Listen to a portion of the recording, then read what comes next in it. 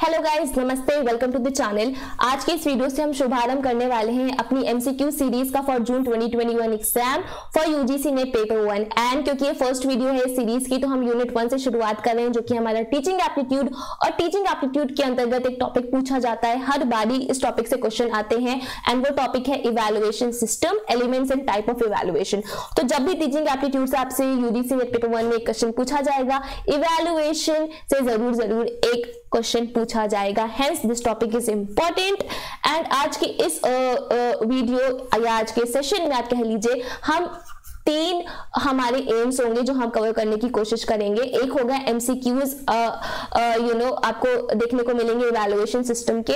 Then approach क्या होती है एमसीक्यूज को सॉल्व करने की specially for UGC paper one वो आपको सीखने को मिलेगा।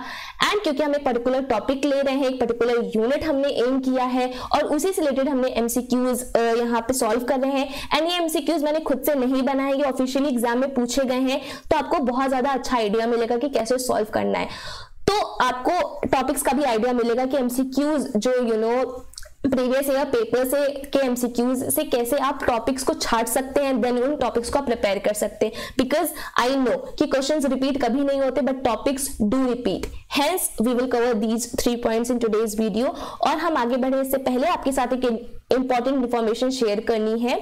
So as you all know it's time to gear up for the 2021 NET JRF exam and Unacademy is presenting you their career booster program. Now ये एक ऐसी वर्कशॉप है जो Unacademy uh, करवा रहा है which will aim to acquaint candidates towards career opportunities available after UGC NET JRF exam. Now ये workshop है ये किस पर एम करेगी ये एम करेगी to guide students towards various you know technical and communication skills and how to give a PhD interview और PhD interview के दौरान जो आप रिसर्च सिनॉप्सिस बनाते हैं, उसको कैसे प्रिपेयर करना है और यूजीसी नेट जेआरएफ क्वालिफाई करने के बाद क्या करियर अपॉर्चुनिटीज़ आपके लिए अवेलेबल हैं, सारा कुछ आपको ये अन अकेडमी की करियर बूस्टर प्रोग्राम की वर्कशॉप के द्वारा पता चल सकता है। So in case you are interested to join आपको जो इसका लिंक है वर्कशॉप का, वो डिस्क्रिप्शन बॉक्स में नीचे मिल जाएगा। And as you can see the workshop is from nineteen to to twenty second November at at P M so description में लिंक है।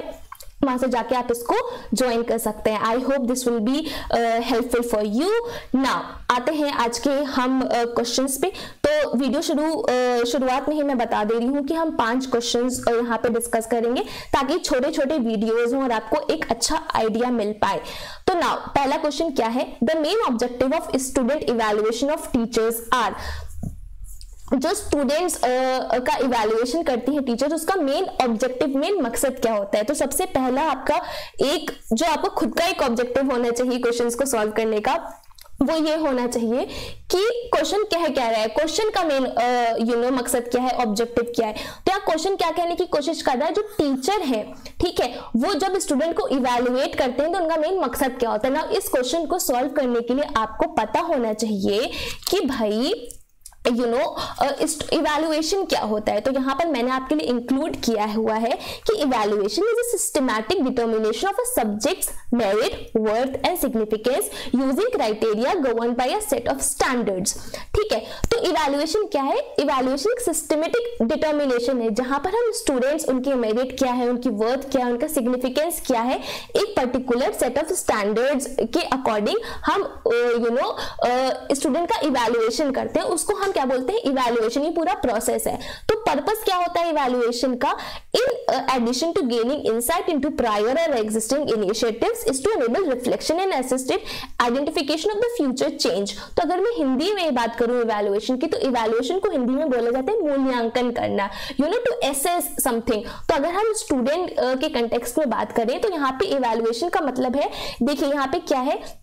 जो प्रायर और एग्जिस्टिंग चीज़ें हैं, उसको यू नो रिफ्लेक्ट करना कि क्या है और असिस्ट करना कि जो फ्यूचर में जो अभी हमें दिक्कतें दिख रही हैं इवेल्युएशन के टाइम उनको हम कैसे फ्यूचर में चेंज कर सकते हैं? तो we kind of analyse the students तो जब हम ऐसे स्टूडेंट्स को परखते हैं, उनका मूल्यांकन करते हैं तो उसमें टीचर का ऑब्जेक्टिव क्या होता है? तो यहाँ पर आपको चार ऑप्शन दिए गए हैं। और जो आपका आंसर है, वो भी यू नो चार ऑप्शन के फॉर्म में दिया गया है। या तो आपका आंसर हो सकता है A B B C D या ए बी सी या सिर्फ़ ए ओनली तो यहाँ पर आपको सबसे पहले जब ऐसे क्वेश्चन आते हैं, जिनका आंसर भी यू नो ऑप्शन का एक यू नो झुंड का होता है, क्योंकि यहाँ पे देखिए आपके चार है और आपका आंसर कोई एक नहीं हो सकता है। आंसर आपके या तो दो होंगे, या तो तीन होंगे, या तो सिर्फ़ एक होगा। तो यहाँ पर एलिमिनेशन मेथड यूज़ करिए कि कौन सा होगा और कौन सा नहीं होगा। ठीक है? तो क्योंकि हमने सही से समझ लिया है कि क्या होगा you you know know, question को हमने सही से समझ लिया तो चलिए ऑप्शंस पढ़ते हैं। To gather information about student weakness student की वीकनेस के बारे में इंफॉर्मेशन गैदर करना अच्छा ठीक है? To make teachers take teaching seriously okay teachers देखिए इवेल्युएशन क्या है? To help teachers adopt innovative methods of teaching to identify the areas of further improvement in teacher traits तो अभी आपके पास चार ऑप्शन है तो आपको क्या समझ में आ रहा है? Uh, मुझे ये समझ में आ रहा है कि to identify the areas of further improvement in teacher traits ये मुझे समझ में आ रहा है क्योंकि एक बच्चे का जब वो टीचर इवेलुएशन करेगी मूल्यांकन करेगी तो उसे समझ में आएगा कि इस बच्चे में क्या कमी है और उसमें यू you नो know, वो अपने आप में भी एक इंप्रूवमेंट करेगी क्योंकि शायद टीचर की कमी की वजह से ही स्टूडेंट नहीं सीख पा रहा है। तो ये एक ऑप्शन हो गया। और इनोवेटिव मेथड्स भी टीचर सीखेगी, क्योंकि बच्चा को जब वो इवेलुएट करेगी तो उसके बेसिस पे जो रिज़ल्ट आएगा तो सी भी होगा। And to make teachers take teaching seriously teachers क्योंकि जब वो उन्हें पता है कि हाँ उन्हें इवेलुएशन करना है, तब वो अपनी टीचिंग भी सीरियसली लेंगी। अगर यू नो ऊपर से कोई अथॉरिटी उनको नहीं बोलते कि उनको इवेलुएशन नहीं करना है यू नो या वो ऐसे ही पढ़ाए जा रहे कोई रिज़ल्ट आउटकम बेस्ड नहीं है तो वो अपनी टीचिंग भी सीरियसली नहीं लेंगी वो भी ऐसे पढ़ाते रहेंगे बच्चे ऐसे पढ़ते रहेंगे तो एक यू you नो know, एक रिस्पॉन्सिबिलिटी इवेल्युएशन क्रिएट करता है। So the answer will be B B means B C D तो आपके ये वाला जो ऑप्शन है ये नहीं होगा टू गैदर इंफॉर्मेशन इवेल्युएशन वो नहीं करती कि स्टूडेंट की वीकनेस का वो। यहाँ पे ऑप्शन हमारे क्या सही बैठे? बी सी और डी तो हमारा ऑप्शन क्या होगा? हमारा आंसर क्या होगा? B so I hope it was clear की इवेल्यू इवेल्युएशन क्या होता है? टीचर का मेन ऑब्जेक्टिव क्या होता है? स्टूडेंट का इवेल्युएशन करने का। Now the second one is The compositional skills and creativity in presentation of students can be most effectively evaluated by which of the following test? तो यहाँ पर बहुत सारे टेस्ट होते हैं इवेल्युएशन जब आप करते हैं बच्चे का। तो क्वेश्चन कह रहा है कि कंपोजिशनल स्किल्स एंड क्रिएटिविटी कोई स्टूडेंट जो है, जैसे यहाँ पे टेस्ट दिए गए objective essay short type projective type composition कैसे करता है?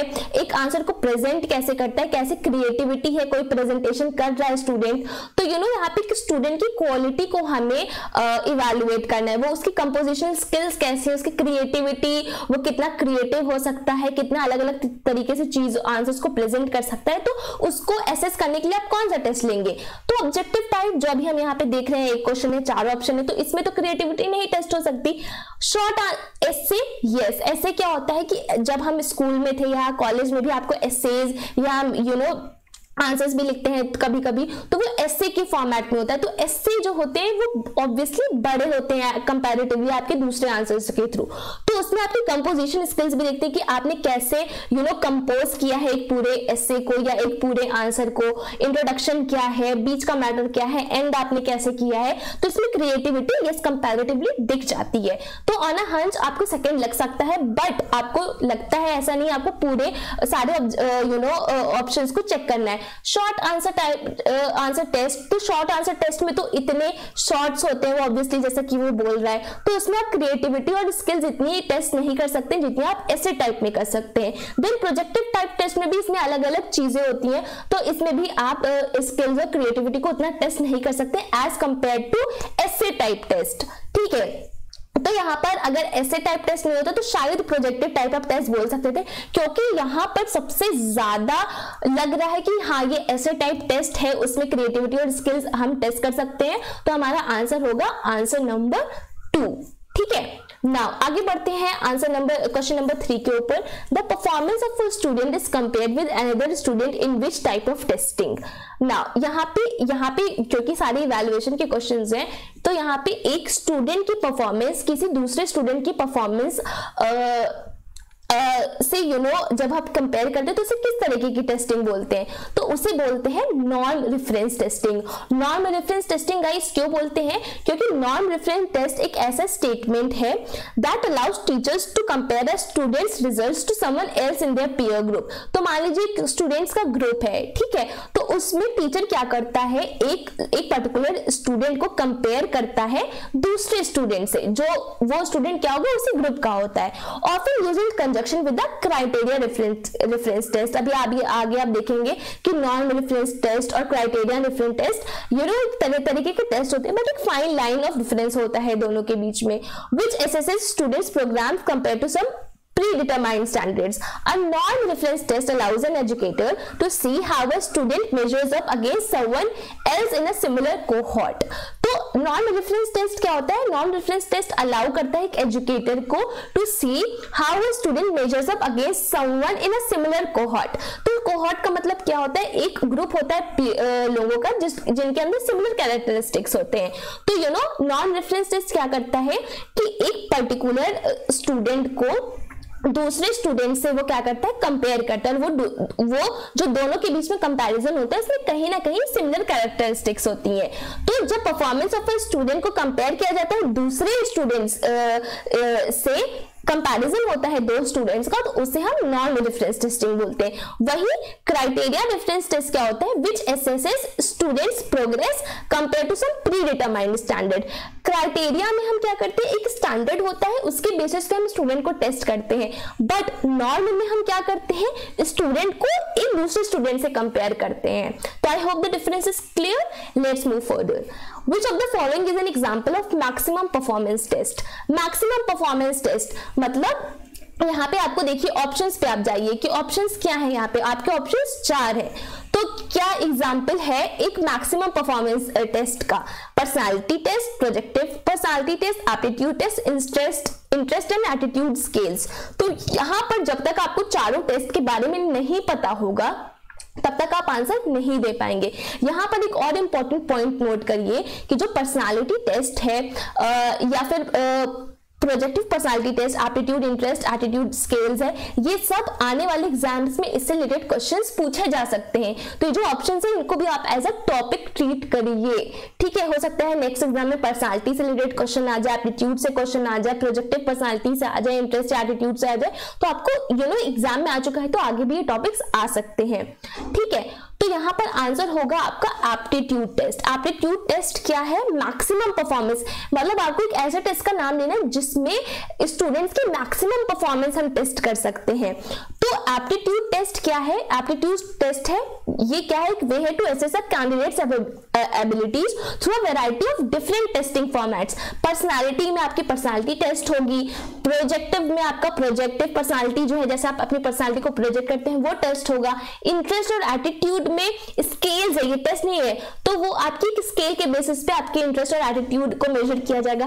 बट जो आपका एप्टीट्यूड है एप्टीट्यूड में you know aptitude test is a mixture of different testing formats ये आपकी एबिलिटी को टेस्ट करता है to perform task and react to situations at work this includes problem solving prioritization and numerical skill skills amongst other things तो personality में सिर्फ़ personality test हो रही है इंटरेस्ट और एटीट्यूड में सिर्फ़ ये दोनों चीज़ टेस्ट हो रही है पर प्रोजेक्टिव पर्सनालिटी में एक पर्टिकुलर चीज़ हो रही है बट एप्टीट्यूड में आपका मैक्सिमम परफॉर्मेंस टेस्ट हो रहा है। आपकी प्रॉब्लम सॉल्विंग क्या है? आपका प्रायोरिटाइजेशन क्या है? आपकी न्यूमेरिकल स्किल्स क्या है तो इसलिए मैक्सिमम परफॉर्मेंस टेस्ट की अगर हम बात करें तो हमारा आंसर होगा आंसर थ्री जो कि हमारा एप्टीट्यूड टेस्ट ना last question of today's video On the basis of summative test, a teacher is interpreting his her students' performance in terms of their wellness lifestyle evident in behavior. This will be called. Now, अगर आपने हमारा third question अच्छे से पढ़ा होगा तो आप इसका आंसर दे देंगे मेरे बिना एक्सप्लेन किए ही तो समेटिव टेस्ट क्या होते हैं जो हमारे एनुअल एग्ज़ाम्स होते हैं या हाफ़ ईयरली एग्ज़ाम्स होते हैं क्योंकि ये एक अंतराल के बाद होते हैं।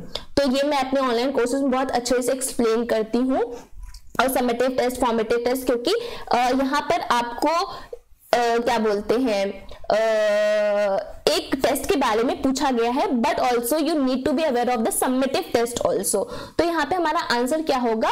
क्राइटेरिया रेफरेंट रेफरेंस टेस्टिंग क्यों होगा? जैसे कि मैंने बताया, ये ऐसा टेस्ट है जिसे डिज़ाइन किया गया है स्टूडेंट्स की एकेडमिक परफॉर्मेंस मेजर करने के लिए अगेंस्ट सम स्टैंडर्ड और क्राइटेरिया जो स्टूडेंट की पूरी परफॉर्मेंस होती है, उसको हम कोई सेट क्राइटेरिया या स्टैंडर्ड से यू नो मेजर करते हैं this standard criteria predetermine before students begins the test तो जैसे ही टेस्ट यू नो शुरू होता है उससे पहले क्राइटेरिया डिटरमाइन कर दिया जाता है कि स्टूडेंट का uh, जो टेस्ट होगा वो हम uh, इस क्राइटेरिया के बेसिस पे होगा। स्कूल्स और district choose a standard such as percent of items answered correctly और state test benchmark as the criteria of test तो कोई भी क्राइटेरिया हो सकता है परसेंटेज ऑफ़ मार्क्स या फिर टेस्ट uh, जो आपका टेस्ट हुआ है यू you नो know, उसके बेसिस पे। पर यहाँ पर क्वेश्चन क्या कह रहा है कि जब टीचर एक स्टूडेंट का बिहेवियर इंटरप्रेट करता है उनके वेलनेस लाइफस्टाइल पर तो वेलनेस लाइफस्टाइल आपका क्राइटेरिया हो गया है। वेलनेस लाइफस्टाइल की लाइफस्टाइल जो आपने क्राइटेरिया बना है, उसके बेसिस पे आप अपने स्टूडेंट का इवेल्युएशन कर रहे हैं। तो इसको हम क्या कहेंगे? इसको हम कहेंगे criteria reference testing so I hope ये आपको समझ में आया होगा। इंपॉर्टेंट हमें टॉपिक्स क्या मिले? सबसे पहला तो criteria reference testing non reference testing ज़रूर क्वेश्चन आते हैं। सबमिटिव टेस्ट क्या होता है? फॉर्मेटिव uh, असेसमेंट uh, आपका क्या होता है? मेन इवेल्युएशन क्या होता है? उसके ऑब्जेक्टिव्स क्या होते हैं? टाइप्स ऑफ़ टेस्ट क्या होते हैं? Aptitude attitude test interest test you know ये सारे टॉपिक्स है जिससे आगे क्वेश्चन आ सकते हैं। तो अगर आप ऐसे अप्रोच करें करेंगे, ऐसा टॉपिक्स को आइडेंटिफाई करेंगे, ऐसा क्वेश्चंस को आंसर करेंगे तो बहुत ज़्यादा यू नो चांसेस है कि आपका यूजीसी नेट का एग्ज़ाम क्लियर हो जाएगा। एंड आपको और सिस्टमैटिक वे में प्रिपेयर करना है देन आप हमारे ऑनलाइन कोर्सेज ज्वाइन कर सकते हैं फॉर एनटीए यूजीसी नेट तो हमारी पेपर वन की फ़ीस ढाई हज़ार रुपए है एंड कॉमर्स की फ़ीस चार हज़ार रुपए और मैनेजमेंट की फ़ीस फोर थाउज़ेंड है। तो आप ये इंडिविजुअल बैचेस ज्वाइन कर सकते हैं, या आप कॉमर्स या पेपर वन का साथ में ज्वाइन कर सकते हैं, या कॉमर्स या मैनेजमेंट सॉरी पेपर वन या मैनेजमेंट का ज्वाइन कर सकते हैं साथ में। या फिर आपको कोई और सब्जेक्ट है for example English history linguistic कोई भी आपका सब्जेक्ट है तो फिर आप सिर्फ़ हमारा पेपर वन का भी बैच ज्वाइन कर सकते हैं। जिसमें आपको फीचर्स मिलेंगे दैट विल बी आपको यूनिट वाइज पीडीएफ मिलेगा वीडियो लेक्चर्स मिलेंगे मॉक टेस्ट आपको मिलेंगे ताकि आप सब कुछ प्रैक्टिस कर पाए। सॉर्टेड प्रीवियस ईयर पेपर्स जो हमारा यूएसपी है स्ट्रैटेजी वीडियोस आपको मिलेंगे हर एक यूनिट को कैसे आपको प्रिपेयर करना है। एंड यस पर्सनल गाइडेंस आपको दी जाएगी। ये नवाज़ सोचिएगा कि ऑनलाइन क्लासेस है तो आप डाउट्स अपने कैसे क्लियर करेंगे? ये आपकी पर्सनल कोचिंग की तरीके है जैसे आप कोचिंग करने जाते हैं। बस ये ऑनलाइन आप अपने घर बैठे आराम से अपनी जॉब के साथ अपने घर के साथ या फिर अपने बच्चों के यू you नो know, आप बच्चों की देखभाल करते हैं आप घर में रहते हैं तभी आप यूजीसी का एग्ज़ाम क्वालिफाई करना चाहते हैं तो भी आप घर बैठे ये एग्ज़ाम क्वालिफाई कर सकते हैं। सो so, अगर आपको डेमो लेक्चर्स लेने हैं या आपको रजिस्ट्रेशन करना है कोर्स में एनरोल होना है तो आप हमारी वेबसाइट www.niharkajaswal.com पर विज़िट कर सकते हैं या तो फिर और डिटेल्स के लिए आप हमें कॉल कर सकते हैं या व्हाट्सएप कर सकते हैं on seven three nine five seven five five zero nine I think that's all for today's video I will see you in the next part of this series till then bye namaste